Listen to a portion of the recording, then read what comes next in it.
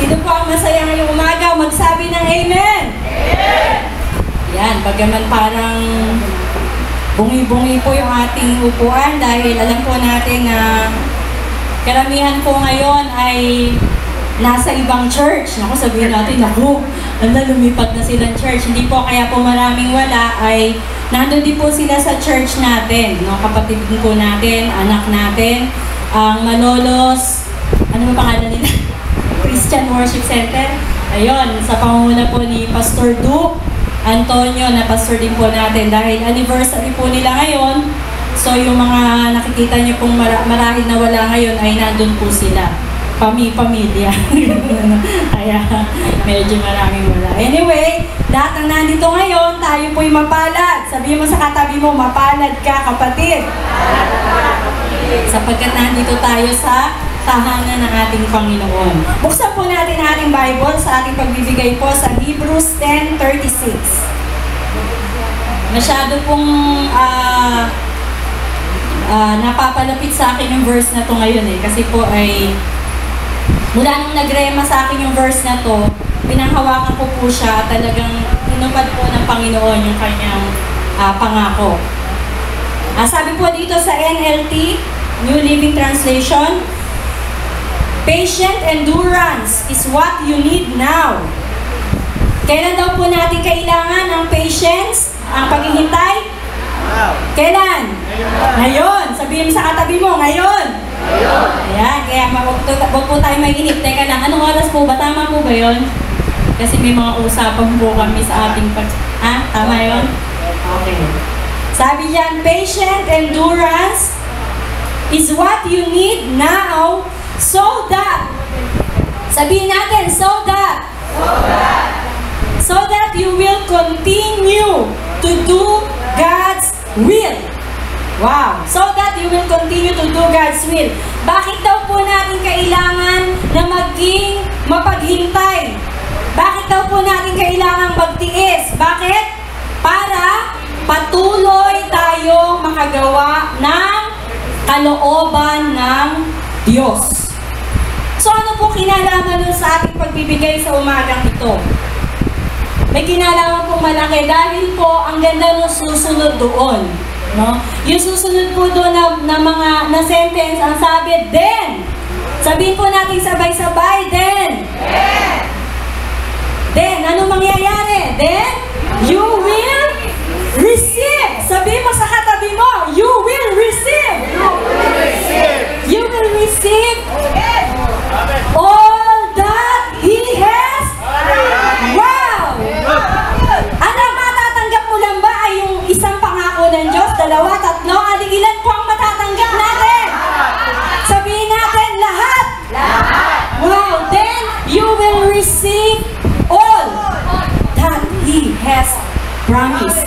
Whether pangako ng Panginoon sa iyo yan, tungkol sa iyong spiritual, sa iyong pisikal, sa kagalingan mo, sa anak, sa asawa, kung wala ka pang asawa, boyfriend, pag-aaral, lahat. No? Pinansyal, material, lahat.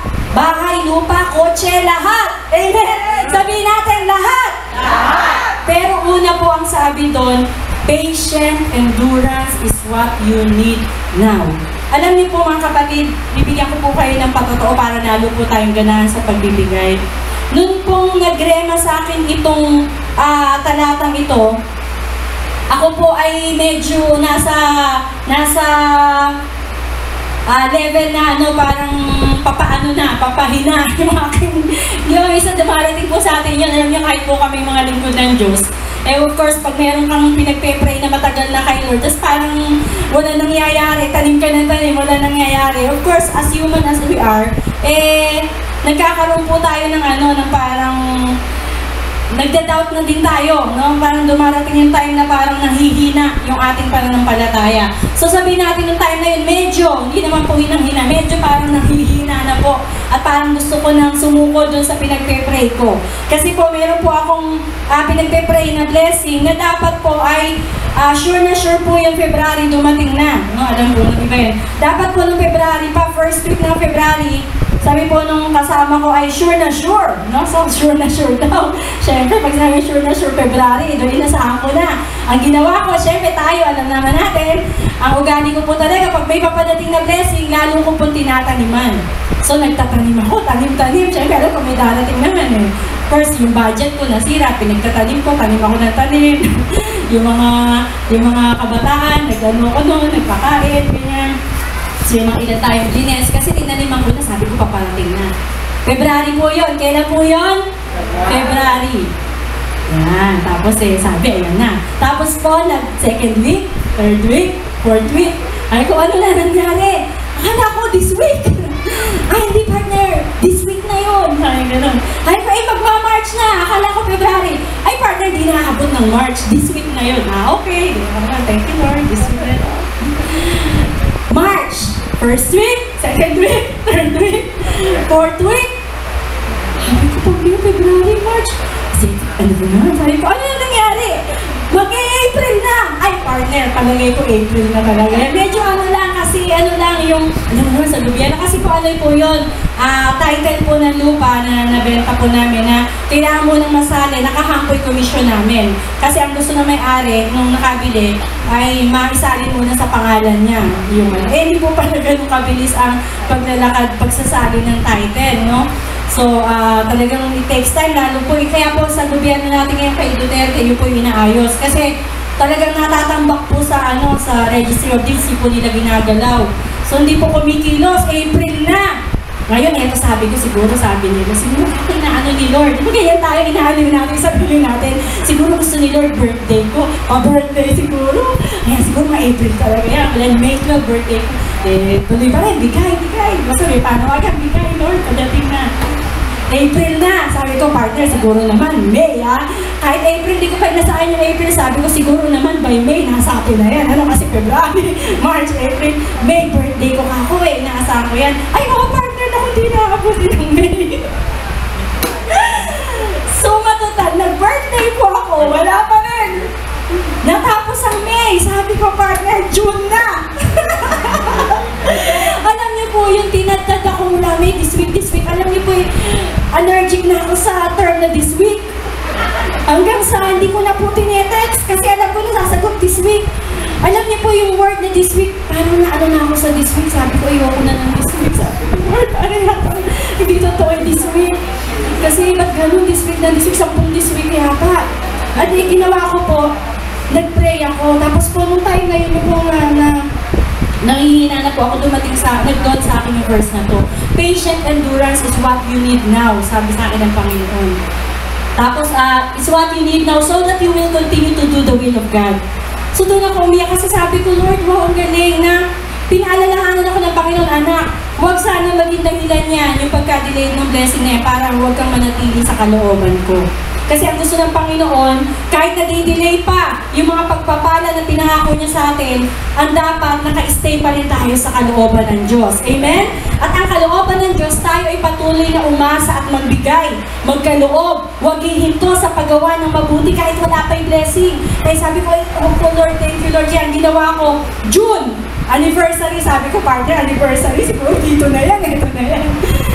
Kaya ang ginawa ko, tinaliman ko na naman. Sabi ko, bagaman wala pa yung pong aming, um, ah, ano tawag? Pledge na 5,000 sa building, binigay ko na kay Manang kasi sabi ko, Manang, June na talaga yan, ito na yan. Suma total din. Ay, sa sa ano, suma total. Sa, to make the long story short, wala pa rin po yung June. Natapos yung anniversary natin, excited kami lahat. Sabi ko, titreat ko sila, wala pa rin. Pero alam niyo po, ito yung maganda. Yung mga, kahit wala pa rin, iba yung saya ko. Iba po yung ano, hindi po ako na, hindi po ako nanlumo. Alam niyo kung bakit? Kasi nabuhay sa akin yung talata na to eh. Ang sabi, huwag kang manghihinawa, magtiis ka, maghintay ka. Ngayon, maghintay ka at patuloy kang lumakad sa kalooban ng Panginoon dahil pagkatapos nun, and then, you will receive all that He has promised. Sabi ko, Lord, akin yan. Hindi ako manghihin. Ayoko ng ano. Sabi ko, Lord, mula ngayon, magpe-pray ako. Sabi ko lagi, talagang pinipilit ko kung gumising ng maaga. Ah, sabi ko, sana ang, pang, ang, ang pangarap ko po, straighten yung buong week na to na nandyan po ako ng madaling araw. Kaya may mga ilang days na uh, umuulan, hindi po ako nasundo. Pero sabi ko, imbis na ako'y tumingin doon sa sa tao na yon, yung mga district niya, kay Lord ako titingin, patuloy akong gagawa ng kalooban ni Lord. At alam niyo po, hindi ko na po intindi. At dahil po doon, may nag-text. At hindi may nag-text, may tumawag. Yan. At alam niyo, napakabuti po ng Panginoon. Sa totoo lang, sabi nga, alam niyo, panghawakan po talaga natin kasi hindi lang yung isang pangako. Nung po dumating, sa bukas na po, eh, sure na yun po, sure na sure na. Ayan. Sure na sure na kasi po, tinext na sa akin yung amount. Bukas po ay, ay i-online na sa akin dahil sure na po. yun. So, dahil po, pangtapat ang Diyos, at ito po yung maganda doon, hindi lang yung pangako na yun eh. Meron pong anak eh. Sabi, but wait, there's more. Amen? Kasi naghintay ka. Kasi naghintay ka, there's more. Amen? May anak at apo pa pala yun, yung, yung, yung pinagpe-pray ko na yun. Bakit po? Dahil natuto po akong maghintay at sa aking paghihintay, hindi po ako tumigil ng pagbibigay. Amen? Minsan kaya po din natin natatanggap ang kalooban ni Lord kasi kapag nagtanim na tayo, nagtanim na tayo, tapos wala pa, humihinto na tayo. Tama po ba? Bakit tayo dito? Eh, nagsawa na tayo. Eh, mukhang hindi naman eh. Yung tagal, no? February, March, April, hindi naman yata totoo. Tapos sasabihin ng kaaway sa'yo, wala, hindi na yan. Wala na yan, hindi masasalin yan, ganyan, ganyan.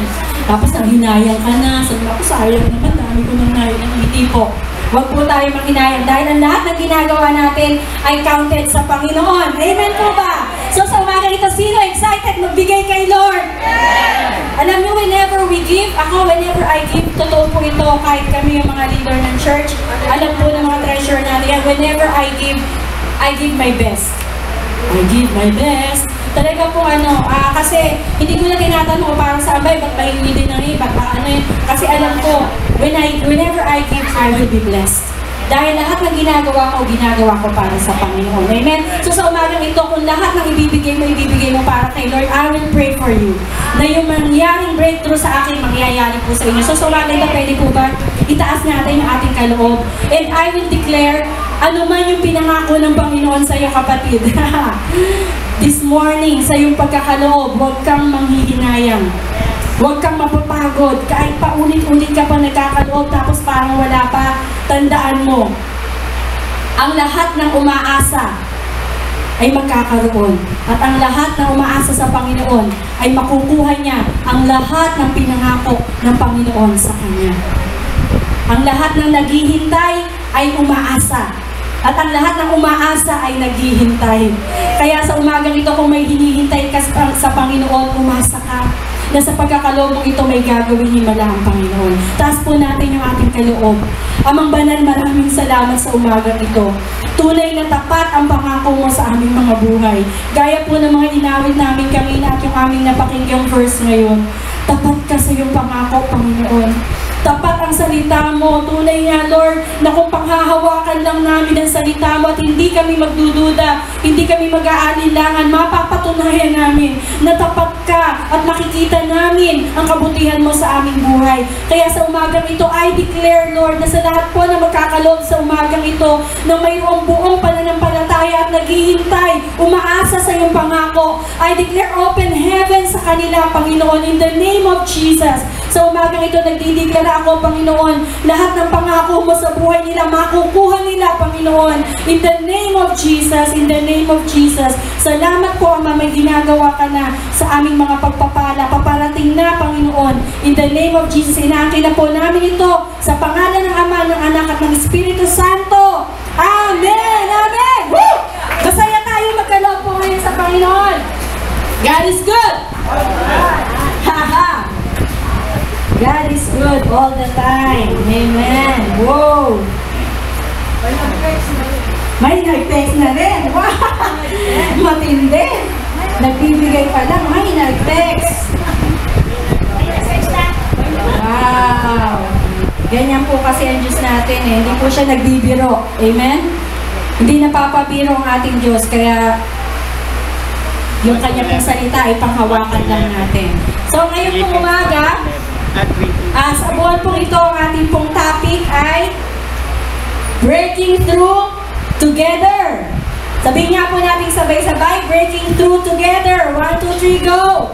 Breaking Through Together. Yan, alam ko po medyo yung panahon ay abnormal, kaya nakaka nakaka, na ano tayo, halina sa ating mga mata. Pero sa umaga ito, sino nangangako, hindi ka pipikit, hindi ko pinapapikit. So, sabi ng Amen! Sabi mo sa katabi mo, kapatid, huwag kang pipikit, hindi tayo inuutosan pumikit. Okay? Delikado po yan. Okay. So, nag-pray na tayo kanina. Huwag na tayo mag-pray. Baka po pagpigil nyo, di na kayo dumilat. Hindi, joke lang. Okay, sige po, manalangin muna po tayo. Ama, maraming salamat po. Dahil alam namin, narito ka. Patnubayan mo kami sa aming pag-aaral sa umagang ito. Holy Spirit, we pray for your wisdom. And we pray, Lord, na give us open hearts and open minds upang makuha po namin ang lahat na nais mo iparating sa umagang ito. Salamat po sa pangalan ni Jesus. Amen. So, breaking through together. Sino po sa atin ang natutuwa dahil tayo po ay kabilang sa isang iglesia? Ito pong CCWC. Magsabi po ng Amen. Amen. Pagpapala po ba sa inyo ang ating church? Ay parang hindi po kayo ganong makasagot. Pagpapala po ba sa inyo na kayo ay nandito sa CCWC? Paano po kaya kung hindi tayo nakakilala kay Lord at walang church na kumalinga sa atin? Nasaan na po kaya tayo ngayon? Di po ba? So napakalaki pong ah, pasasalamat dat dapat lagi natin sa Panginoon na tayo po ay kabilang sa isang iglesia. At bilang isang iglesia, sabi po ng kasulatan, tayo po ay body of Christ. Tayo pong iglesia, tayo po'y katawan ni Kristo. At bilang katawan ng isang katawan ay maraming bahagi. Tama po ba? Tayo ang katawan natin, maraming bahagi. At ang bahagi ng ating katawan ay iba-iba. No? May iba-ibang function. Pero, nagkakasundo sila, hindi sila nag-aaway-away. No? Kayo po ba naranasan nyo nang inaway nyo, kinagalit nyo yung mata nyo? At talaga nabwisit kayo sa mata nyo kasi sabi mo sa kanya, basta masama loob mo sa mata mo, sinabi mo ha, dahil masama loob ko sa'yo, hindi kita ididila. Sige ka. Bahala ka sa buhay mo kahit anong mangyari. Hindi kita ididila. Hindi ka makakakita ng magagandang tanawin. Naranasan nyo na po ba yun? Aba, eh, sino po ang magsasuffer pagka hindi nyo dinilat yung mata nyo? Din, tayo rin. Ano, ikaw din. Tapos naranasan mo na ba na pinagalitan mo yung ano mo, yung kamay mo, yung bibig mo? O mula ngayon, hindi ka kakain, tandaan mo. Kasi ikaw, tigas ng ulo mo, no? Hindi kita, kahit na gutom na gutom na ako, hindi kita ibubuha, hindi, hindi ako. Naranasan niyo po ba yun? Ang tawag, ano po tawag sa ganun kapag gagawin natin yun? That is insanity, di ba? Kalokohan yun. Kasi ina, party mo, o ikaw din yon, party mo ay inaaway mo. Party mo ay hindi mo ginugusto. Ngayon, meron na rin ba kayong karanasan na isang parte ng katawan nyo, hindi nyo talaga type? Marami, di ba? Marami. Una, kulay, di ba? ah, yung ilong, no? Na yung ilong mo, imbis na appointed, ay disappointed nose, no? Yun ang mga Amerikano ay, ano, pointed nose. Eh, yung sa atin ay, ano, minsan disappointed, no? Disappointed nose. Kaya minsan kahit titig ka sa lamin, disappointed yung nose mo, eh, nangyari na ba na tinakpan mo ilong mo? Kasi naiinis ka sa kanya dahil pangit siya. Yan na lang ang kulang eh, okay na sana ako eh, kaya ilong sa ilong pala rin. Kaya gagawin ko na lang yung ilong ko, lalagyan ko laging gas na ng, ng face mask, no? para hindi na nila nakikita. Ano po mangyayari kapag ka may face mask na may ilong mo kasi ayaw mong ipakita dahil pangit. Hindi mo siya tight. Hindi rin po tama at hindi rin maganda. Pero na naranasan nyo na ba na natuwa, na na-accept nyo kung ano yung pangit sa inyong katawan at dahil doon eh na naging masaya na rin kayo at na, lalo lumitaw po yung beauty. Tama po ba? Kapag na-accept natin yung pangit sa atin, doon lumilitaw yung ganda. Tama po ba? Kasi kapag nakatingin ka doon sa pangit, pumapangit ka rin. Tama po ba? So, ganun din po tayo bilang katawan ni Jesus. Naintindihan po ba natin? Napakalinaw na na discrete na, na tawag dito na pag halimbawa no pagko-compare sa katawan ni Kristo at sa katawan natin. Tayo bilang katawan ni Kristo, of course, iba-iba po tayo ng pinagmulan. Hello, tayo po dito na ilan tayo ngayon, iba't ibang klase tayo ng pinalakihang pamilya. That's why iba-iba tayo ng ugali. Tama po ba? Iba-iba yung mukha natin. Tingnan mo yung katabi mo, hindi mukha-mukha. Buti na lang. Iba-iba mukha natin. Iba-iba kulay natin. Bakit? Iba-ibang pamilya tayo ng galing. Iba-iba yung ating kaisipan, iba-iba yung gusto natin, iba-iba hindi natin gusto. Pero, nananatili ang katotohanan na tayong lahat ay parte ng iisang katawan. Hello? Naintindihan po ba ako? Kana, anong katawan? Kaninong katawan? Katawan ni Kristo. The body of Christ. That is why, kung meron mang isa sa atin dito na parang hindi natin type o hindi natin gusto, kapag nag-focus tayo at sinira natin yung taong yon, sino ang sinasaktan natin? Hello? Sino po?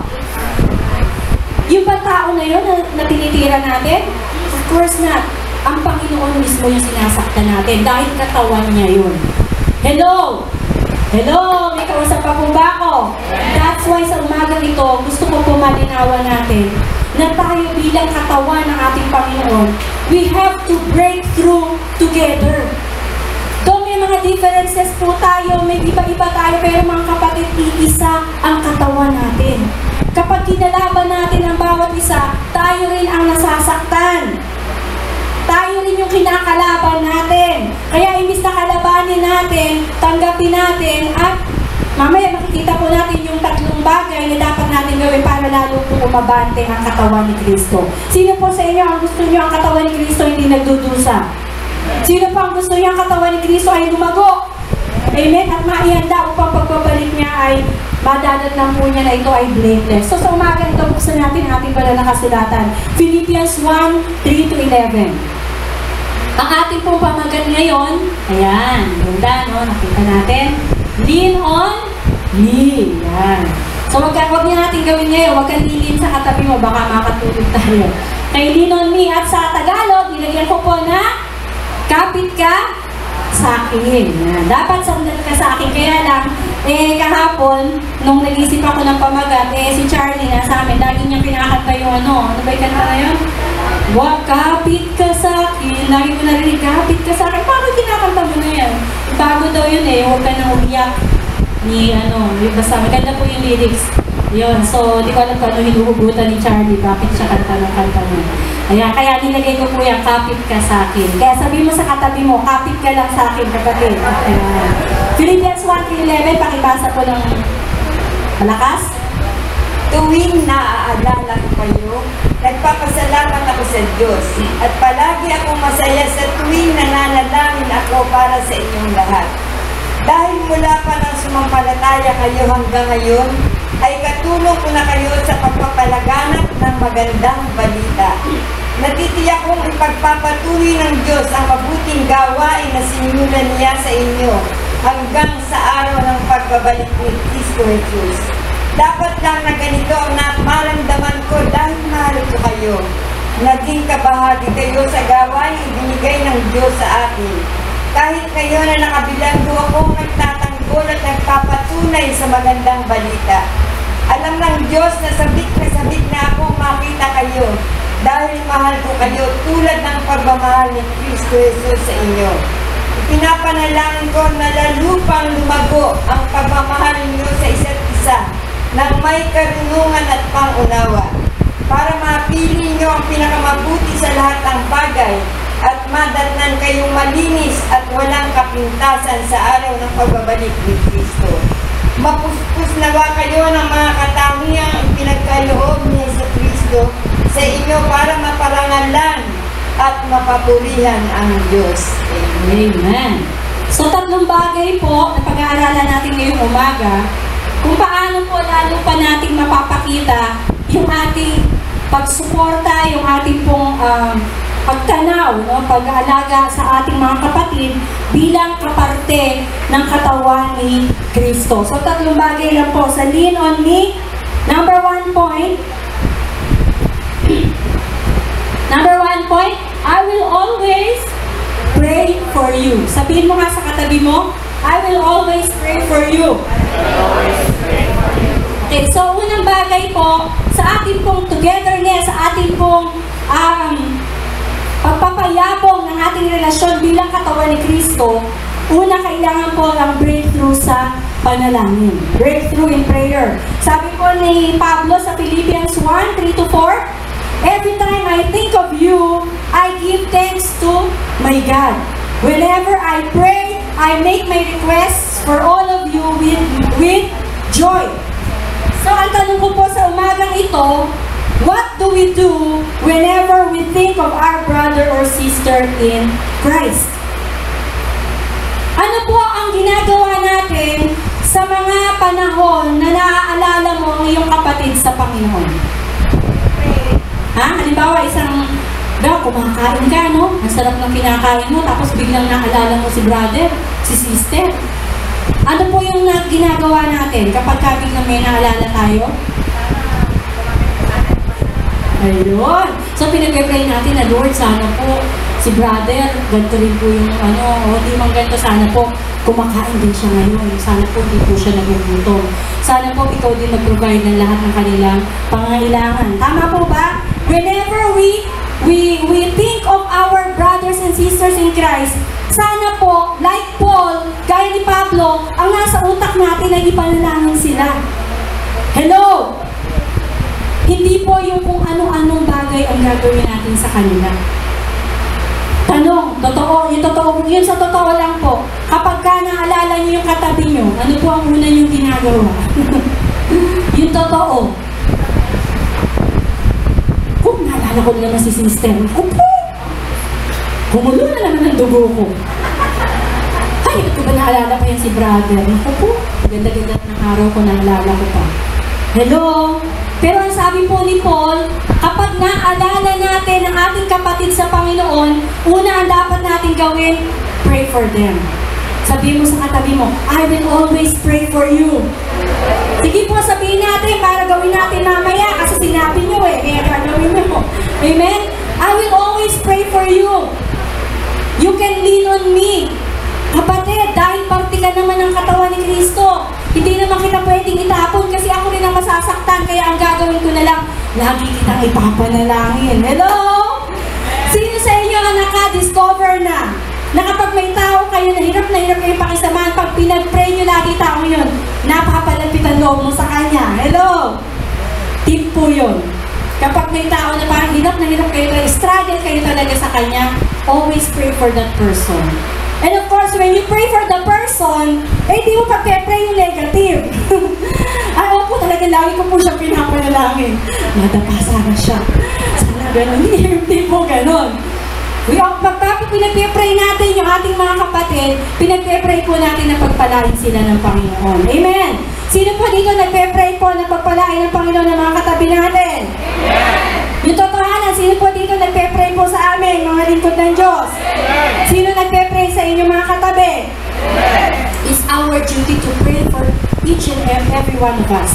Dahil hindi natin alam kung ano ang pinagdadaanan ng bawat isa. Hello? Naranasan niyo na ba yung mga times na bigla gigisingin ka ng Panginoon? Madaling araw, di mo alam kung bakit? You just have to pray.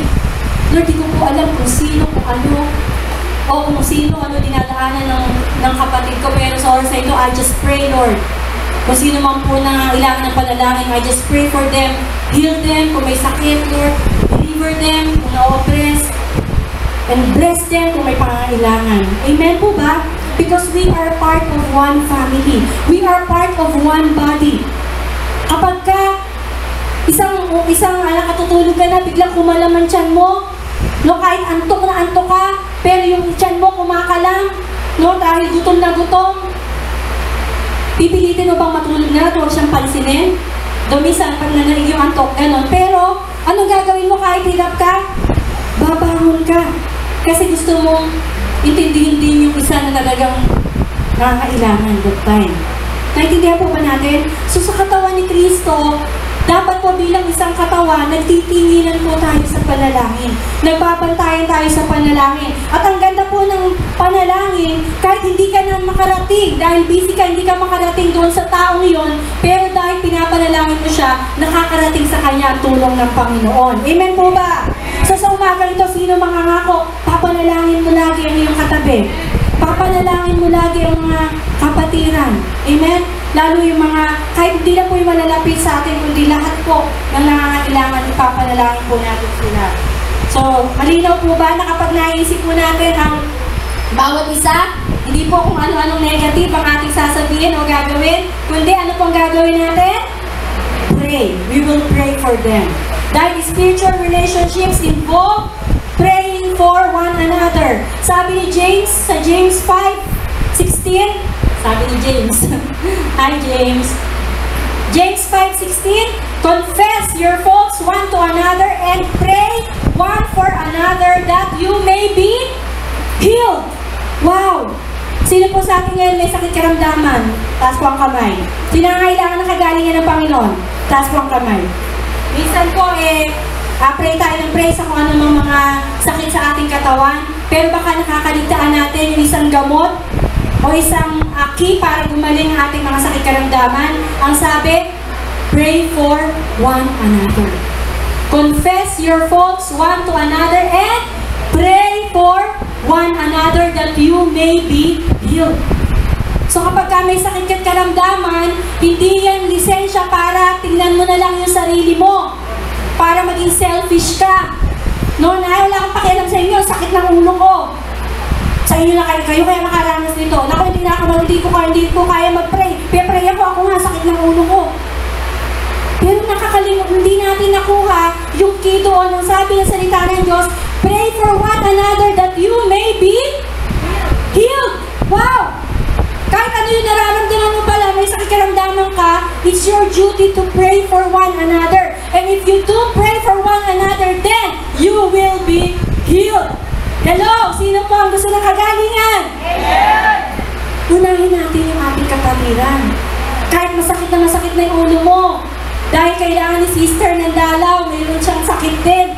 Pilitin natin na pumunta pag-pray siya.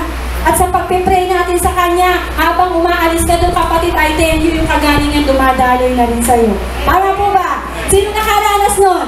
Nag-pray ka ng may sakit, may sakit ka rin. Tapos nung gumaling siya, gumaling ka rin. Amen? Dahil yung ginagawa natin, bumabalik sa atin. Tama po ba? So it's very important that you pray for one another. So again, sabihin natin sa katabi natin, I will always pray for you. Amen? So yun po sa sinabi natin, lean on me, kapit ka lang sa akin kapatid. Ano ba pinagdadaanan mo ngayon? Pagpe-pray kita. Alam niyo po, kung meron akong gustong gusto sa isang tao, kilala niyo po si Sister Nora Gregorio? Dati po nating member yun eh, kaya lang, ah, ko nasa na siya ngayon.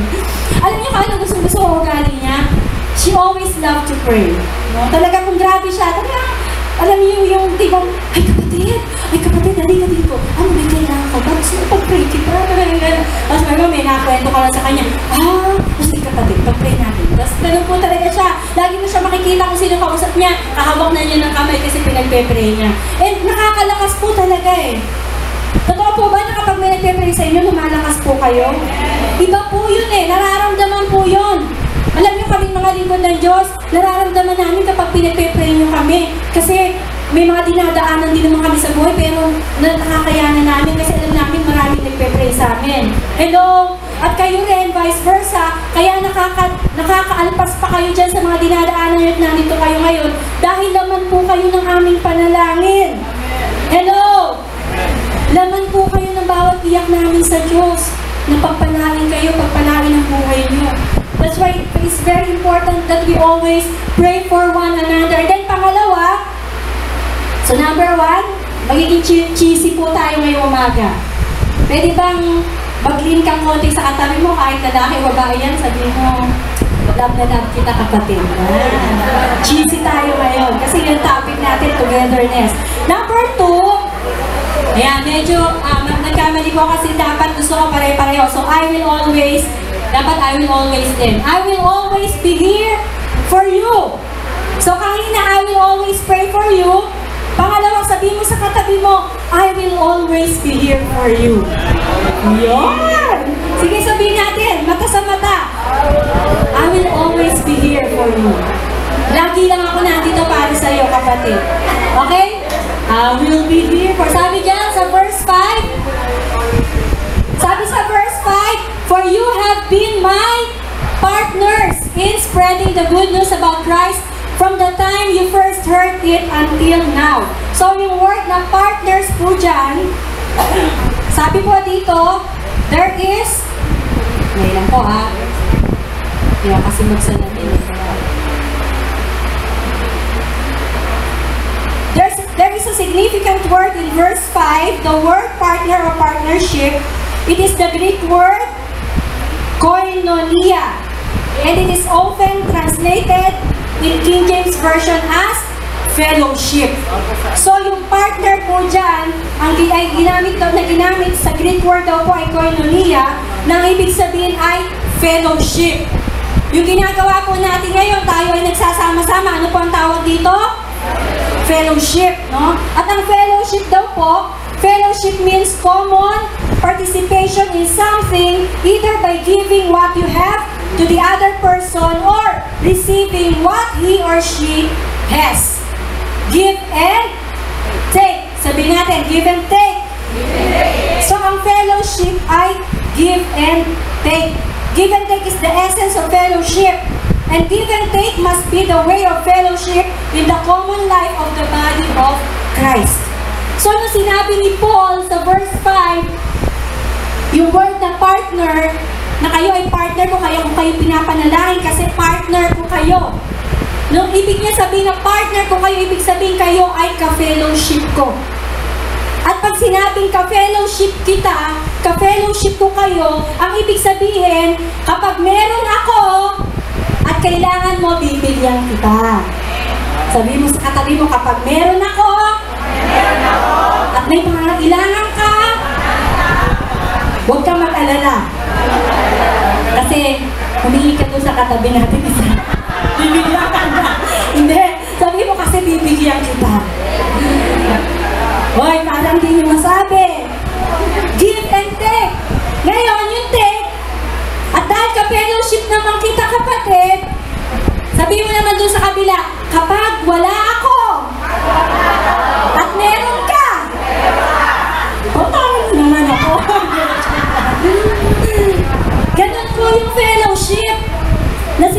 sinasabi dito ni Paul. It is partnership.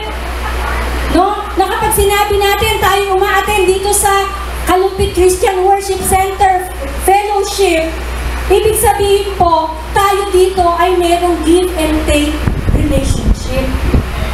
Hindi lang gi- give ng give, hindi lang din take ng take, kundi give and take. Hello? Kaya napaka-importante maintindihan po natin yon. Kasi po, nagiging mas mabunga ang relasyon kapag ka may essence ng give and take. Abay, kapag kayo ka-relasyon o give ka ng give, ayaw naman niyang, ayaw din niyang mag-give. Eh, talagang nakakatika po yun, di ba?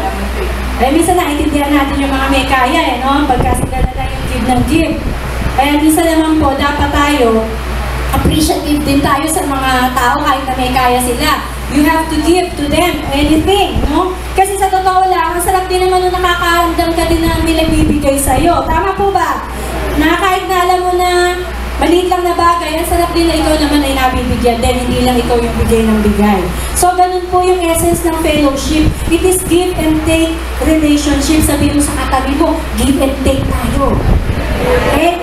Kaya kung nag-give ka ngayon, dahil ikaw meron ngayon, sabi mo kapatid, pagka nabibigyan ka lagi, sabi mo kapatid, huwag kang masasawa. Pag ako nagkaroon, bibigyan din kita. Amen? Bibigyan mo rin. Pagbabalik naman ng utang na loob, no? Dahil ganun, dapat give and take. Huwag lang tayong kuha ng kuha. Huwag lang tayong hala ng hala, tapos hindi naman tayo marunong magbigay. So, kailangan po, number two, napaka-importante that you are always there when somebody needs you. Yun po yung essence ng togetherness. So, it is a breakthrough in fellowship. Na sana magkaroon tayo ng breakthrough na huwag nating maisip na ang fellowship ay ito lang every Sunday.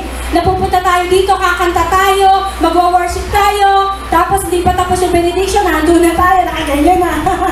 Naka-ready to go, no? O baka yung iba, hindi pa tapos yung benediction, nakaganyan na sa sasakyan, no? Dahil parang, amen. So, No, kundi ang fellowship po, yung nararamdaman natin yung bawat isa. Nalalaman mo, teka lang, bago umuwi, baka itong si kapatid, eh, paano kanina na, nakikita ko nung nung ano, nagpipreach Pastora, para yatang matamlay, parang napakalamlam ng mata. Parang di pa kumakain si brother. Ano si sister, parang di pa kumakain. Teka lang, bago ko umalis, bibigyan ko kahit magkano. Amen? Yun po yung essence ng fellowship. Alam niyo po, hindi sa pagmamalaki. Ako po talaga yun yung na- natutunan ko, na-practice ko po yun. Every time I go to church, yung mata ko ma malikot, no, tumitingin din. na ano yung itsura ng mga ano, baka mamaya, kung minsan sensitive po ako, baka mamaya yung kapatid na yun ay ah, wala nang isasain. No? A lot of times ay nandun na, hinahabol ko pa no, sa kamayan kasi ah, tinutusan ako ng Holy Spirit magbigay ko. Hindi malaki, pero yung, yung iba po yun eh, yung maramdaman ng kapatid mo na you care. Amen? Na iniisip mo din yung sinasaing niya, yung kakainin niya, hindi lang yung puro ikaw. Amen? Amen po ba? Sino pong handa na mag-bless sa mga kapatid natin? Alam niyo, napakasarap mag-bless. Lalo kapag ang bine-bless mo, party mo, katawan mo. Sipi mo, kapag ka naliligo ka, sarap ng pakiramdam, di ba? Kasi party mo yun eh, nililinis ko, party mo yun. Isipin mo na huwag mong paliguan yung katawan mo kasi hindi mo siya tightly bless ngayong araw na to. Ayaw mong sabunin yung mata mo, hindi mo siya tightly bless. Eh, magmumutayan, ikaw din naman ang mga apektuhan, papangit ka. Tama po ba? So kahit hindi mo tight yung katabi mo, we continue to bless them because they are part of us. Amen po ba? Amen. Natututo po ba tayo sa umagang ito? We are part of one body, the body of Christ. Kaya kailangan, we are always here for each and every one of us. Kasi hindi mo alam kung kailan kakailanganin mo sila. Sa ngayon, nakala mo hindi mo sila kailangan, you never know. Mamaya mo biglang sa isang isla, bumagsak aeroplano, yun pala.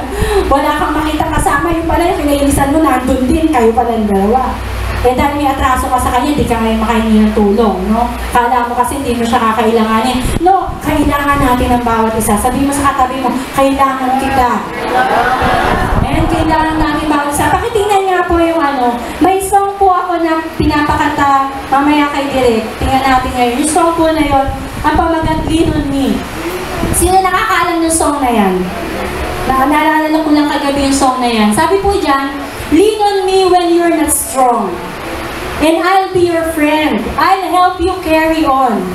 For it won't be long till I'm gonna need somebody to lean on.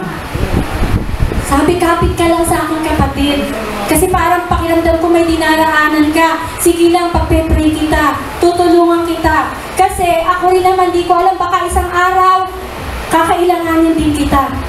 Baka isang araw ako rin manghina, ako naman ang ipag-pray mo. Hello? Ako naman ang tulungan mo.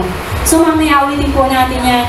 Napakagandang awit na kailangan meron tayong ganung espiritu na lagi yung mga kapatid natin ay pwedeng dumantay sa atin. No? Pwede tayong dependahan ng ating mga kapatid. Tanong ko po sa inyo, pwede po ba kaming dumepende sa inyo? Sino po dito ang handa na mag-depend sa inyo ang inyong mga kapatid? Magsabi po ng amen. Sino po dito ang handa na tumulong kung may nangangailangan? Magsabi po ng amen.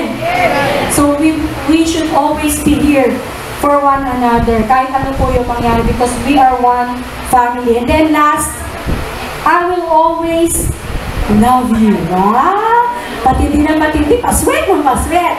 Kanina, I will always, ano po yung number one? I will always pray for you. Pangalawa, I will always be here for you. At minsan alam niyo yung I will always be here for you, hindi naman din lagi kung may bibigay ka. Tandaan niyo po yun. Kasi po, baka minsan naman kaya hindi tayo makapagpakita kay kapatid kasi wala akong ibibigay. No, yung presence po natin ay napaka matindi ng ano, blessing, no? Kapag may nangangailangan. Tama po ba? Eh minsan nga kapag may mga problema matindi, hindi mo naman kailangan ng ibibigay ng tao eh. Minsan kailangan mo lang ang tao makikinig. Kahit nga wala siyang sabihin. Basta umiyak ka lang, umiyak sa kanya, niyakap ka niya, tapos na, napakalaki ng tulong niya sa'yo. Tama po ba? So, yung I will always be here for you more of yung presence natin dapat po ay nararamdaman. And then number three, I will always love you. Sabihin mo sa katabi mo kung babae, babae, lalaki, lalaki, yakapin natin, I will always love you. Amen? So breakthrough in love.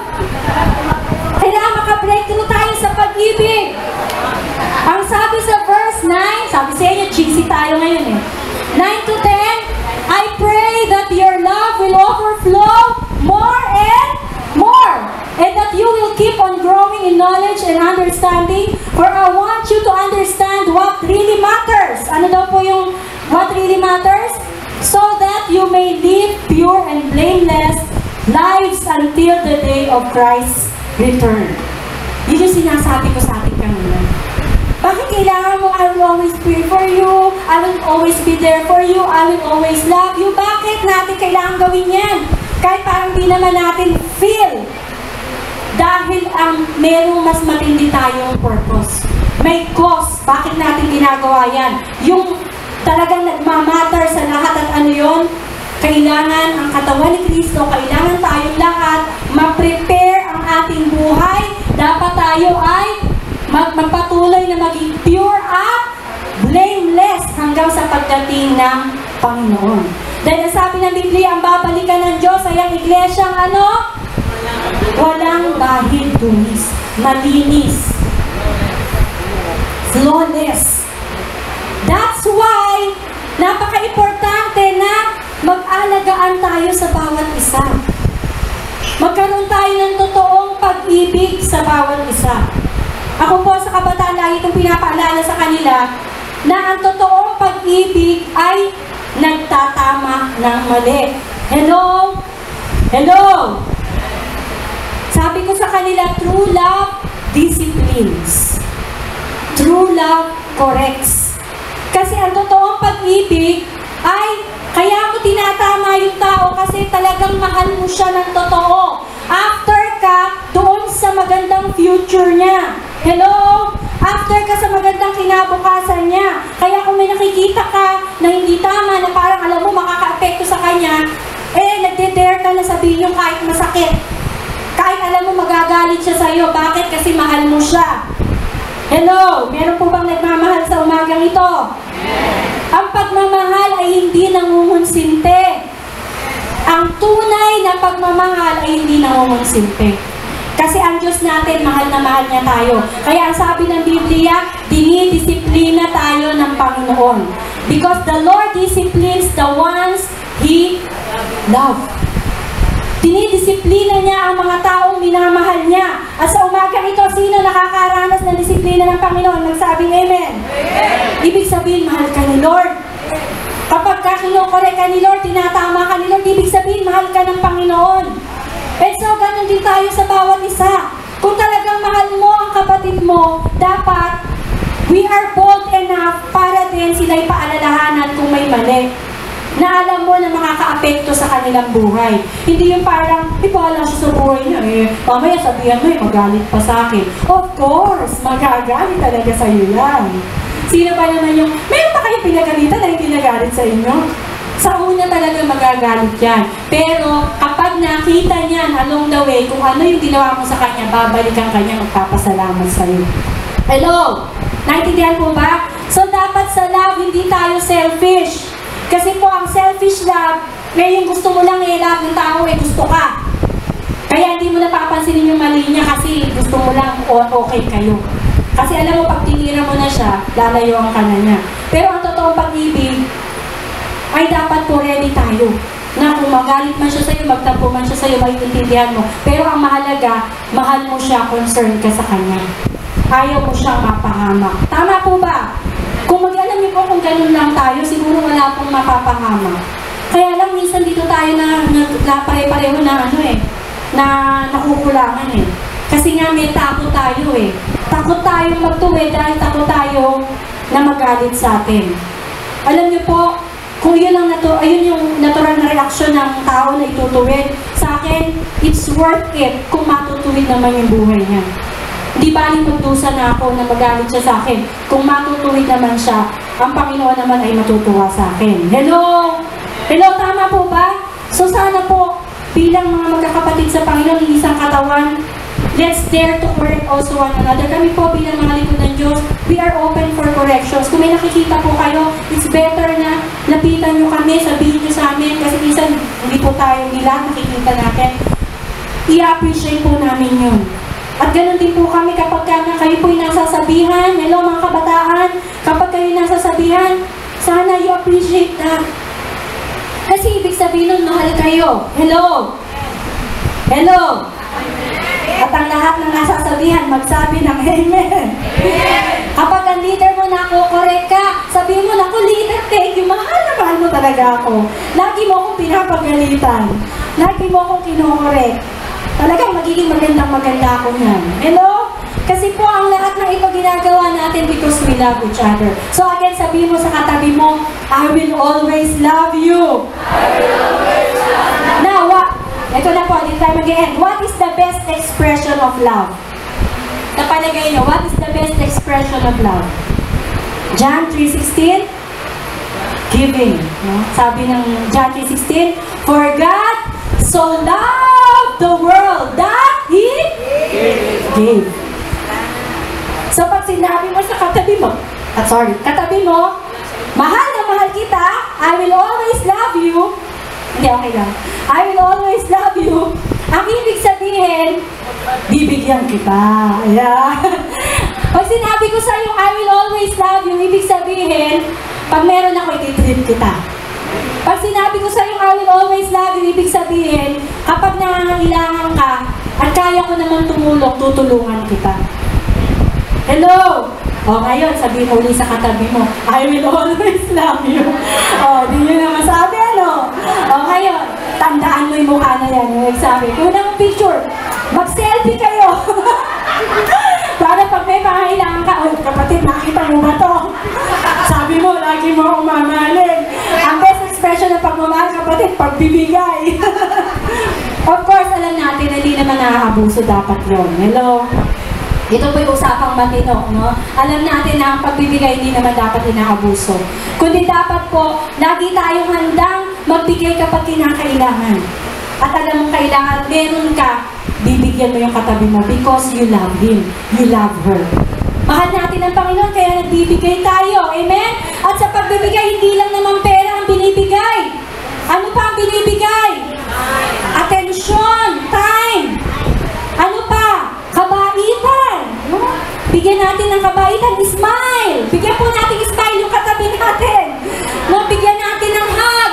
Bigyan nga po ng tapik.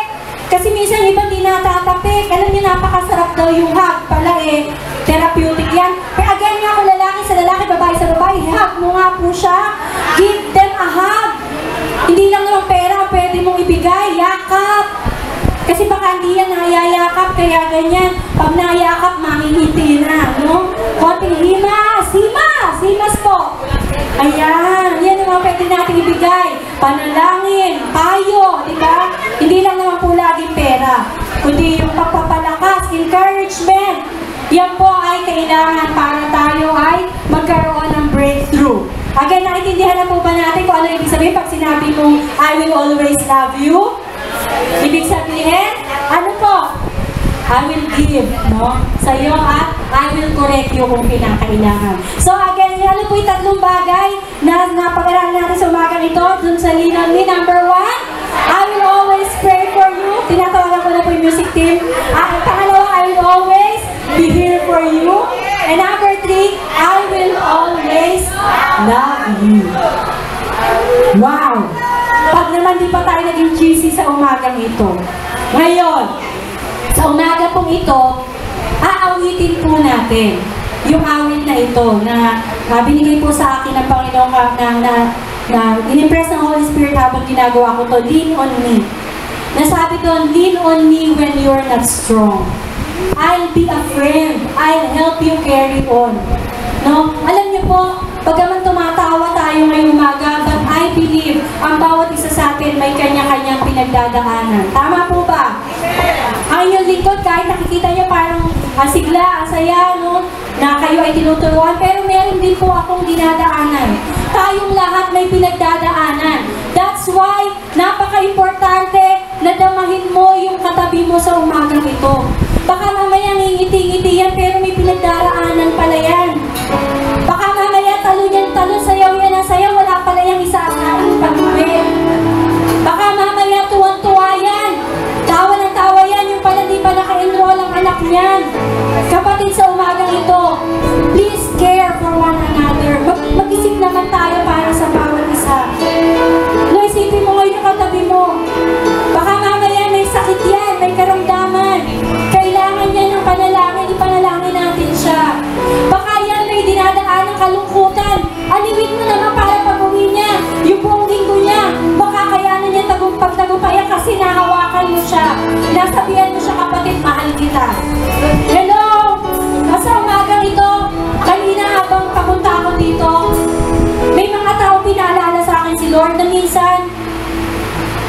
nare-neglect natin ng pag-ibig, ng pagmamahal, ng atensyon.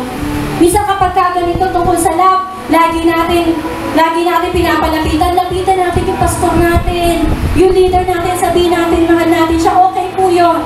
Dahil ako leader din, okay po yun. Pero minsan nakakalimutan natin na i-appreciate yung mga tao na hindi natin na-appreciate. Si Kalope po ba? Nasaan si Kalope? Wala na yata si Kalope, naglaro. Nasa si. Si Kalope po ba ay na-appreciate na po natin? Na pag ba naaalala niyo si Kalope, ano ang nagagawa niyo, inaalala niyo pag naisip niyo si Kalope? Naisip niyo ba ipanalangin siya?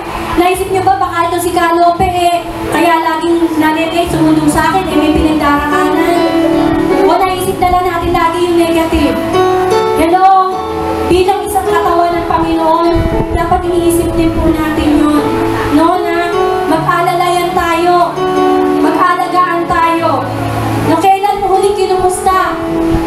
Katabi mo? Sila Marlon, na tayo labas-masok dito, na kumusta na ba natin? Baka di na kumakain yung magkapatid, baka puro tanong na lang yung kanilang inuulam. Dagdagan nyo naman ang bagoong,